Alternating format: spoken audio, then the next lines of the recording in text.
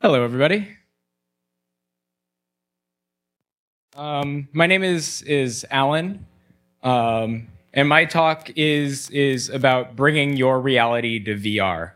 Um, so, I'm going to be focusing on the VR that everybody here already more than likely has in their pocket, which is which is uh, smartphone. Sometimes it's called mobile VR. Sometimes it's called cardboard VR.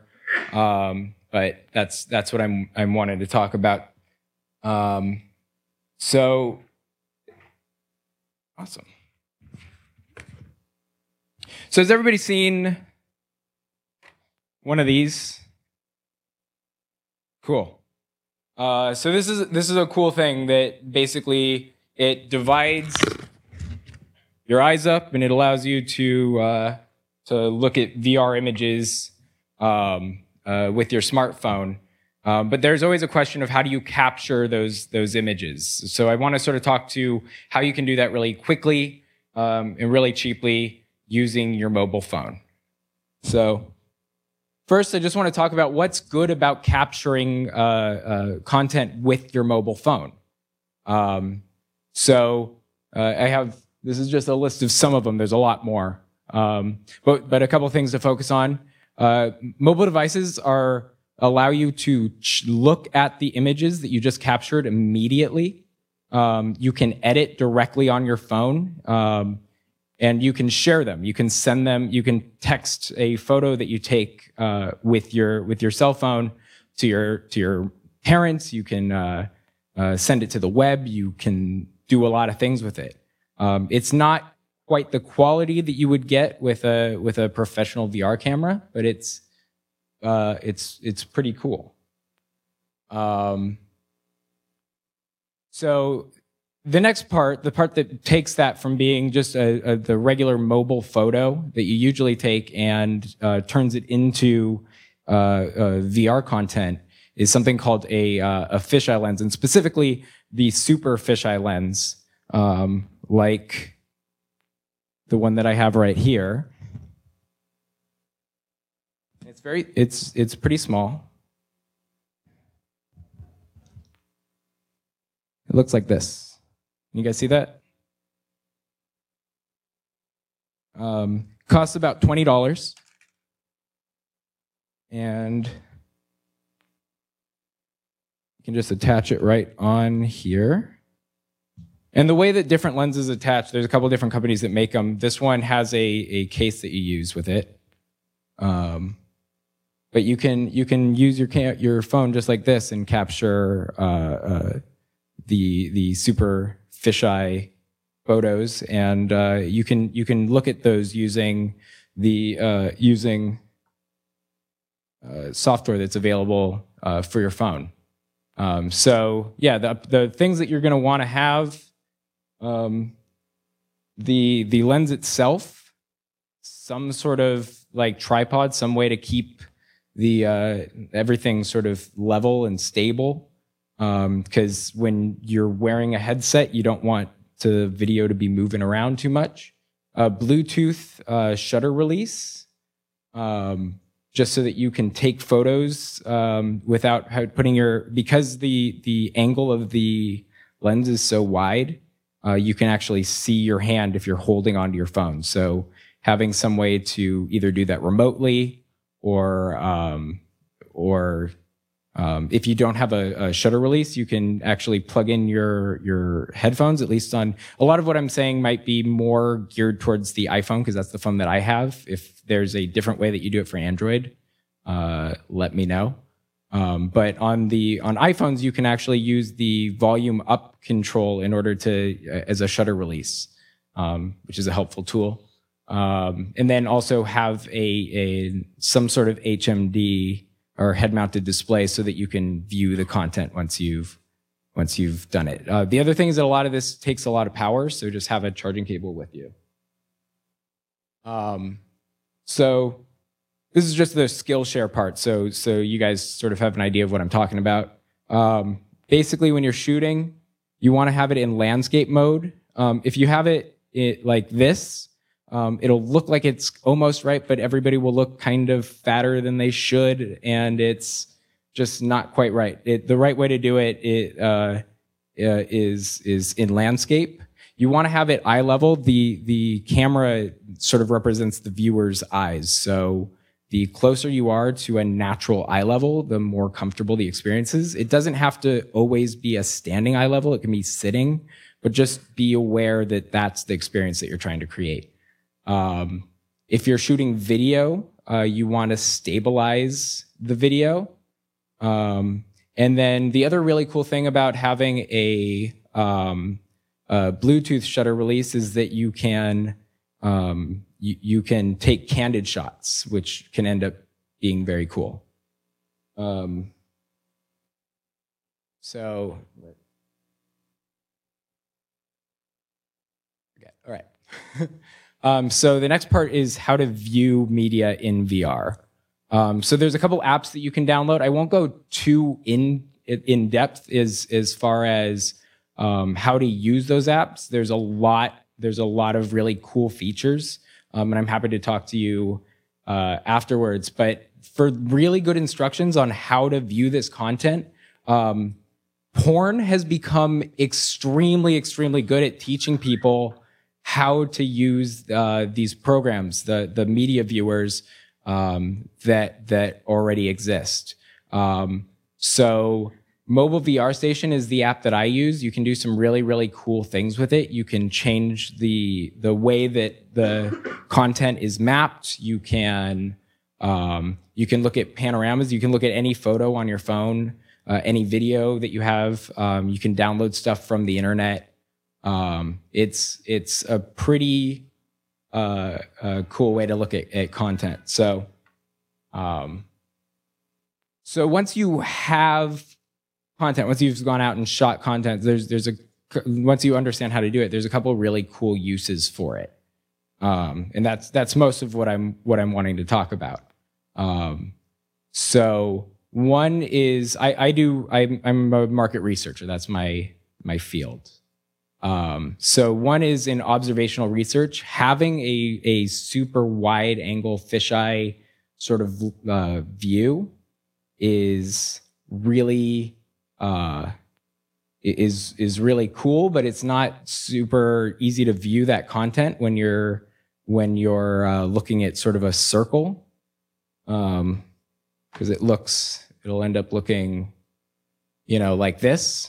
Um, and so watching hours and hours of video like that is kind of uncomfortable. But when you put on a headset and you can actually look around and it feels natural, um, it, it's actually a really cool way to to sort of look back at at content. Um, and then this is this is sort of how it looks when you're when you're in cardboard. Um, to capture environments, if you just want to like say this is what this room looks like, um, and and send that off to somebody so they sort of have a sense of where you are, um, that can be helpful. Um, if you're shooting sort of more um, more doing a more serious VR shoot, um, just having a way to view what that angle is going to look like really quickly um, can be really cool. Um, you can share all this stuff through uh, through SMS, through through a, a tweet, um, and actually, if you go to my Twitter account, uh, which which will come up in a second, um, I've I've tweeted a couple of these photos so you can sort of look at how how they actually look on your phone if you have if you have uh, a display. Um, and an area that I'm really really interested in is show and tell. So capturing the moments that are important to you, and then being able to share those with other people, and not just giving them that photo, but also being able to speak to that experience with them having the experience of actually having kind of seen what it was like to be there. Um, and then eventually, uh, with time, any photo that you take, you can look back at and, and sort of see how things were at the time. So I think about um, like my my grandfather. Uh, I would love to have seen what his bachelor pad looked like. Um, and theoretically that's that's something that we will be able to do with any content that starts being created from now forward and look back at anything um, and so that's that's what I mean when I say time travel. Um, but I want to sort of speak to the show and tell aspect. Uh, or these these are a couple other uh, examples of things that you can do. I forgot I put this in here. Um, so this photo here is um, perspective from sitting at one at a table um, at a focus group facility. So you can imagine having uh, people in the room. Usually, you're looking like through through that glass window. Um, here, you're actually at the table with somebody, um, able to sort of read their facial expressions and do a lot of things that you can't actually do when you're, you know, uh, on the other side of the, the mirror or or looking at at video after the fact. Um, next is is sort of you can see you can put somebody into sort of an automobile or in whatever sort of experience you want to create. Um, but I, I kind of want to challenge people. If you go out and you and you uh, start shooting in this way, um, capture experiences in places that you find endearing, and then share those moments with the people that you wish could be there. Um, there's a lot of, of opportunities in virtual reality to escape. Um, but there's also a lot of opportunity to connect with people and, and, um, by sharing what your experience is, um, you're, you're adding something to sort of this collection of, of what VR is and can be. Um, so, uh, on Twitter, I've already hashtagged that, uh, VR show and tell and I welcome you guys to join me in making that a thing.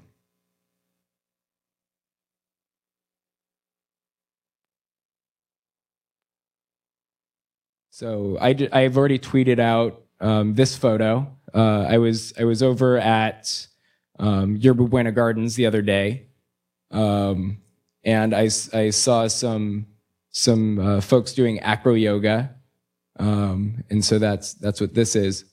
Um, oh, that's what that's what that one comment was. So the one thing that I will say is that when you capture video in this mode, um, at least on some phones, the image will zoom in uh, just a little bit, so it'll be a slightly different frame. So you won't actually get the full circle. You'll get about.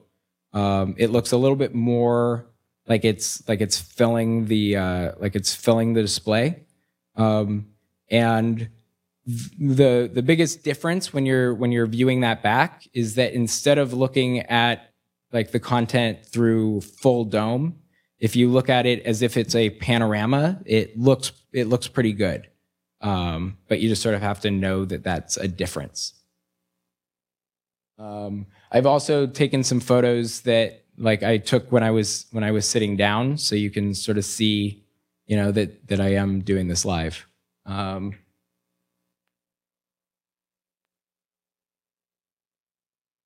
yeah. So that's that's it. Um, does anybody want to see what it looks like or yeah? Okay. Come over here. We'll do one and then um, we will move on yeah great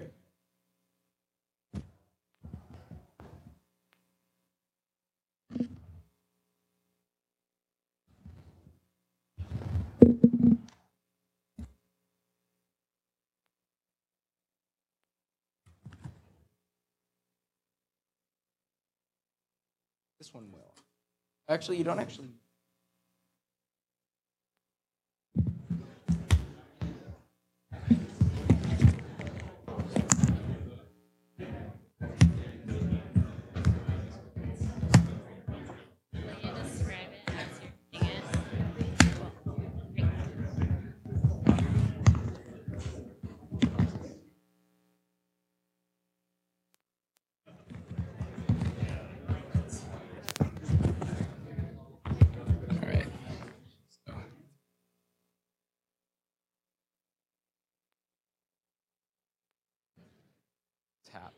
Tap from underneath. No, no. That. And then you, you can see it? You can can you adjust the lenses at all? Do you know how to oh, right here? So that's looks right. All right, now you can look around. So there's the perspective seems pretty good. I feel like I can almost touch the grass. Uh, there's definitely a uh, cutoff at the at the edge of edge of the screen uh, where the picture ended. But uh, the closer I am to the center, the more the 3D looks uh, pretty. You, can, yeah, you have a good idea of depth. Cool. You guys, please give Allan a round of applause for his unique perspective.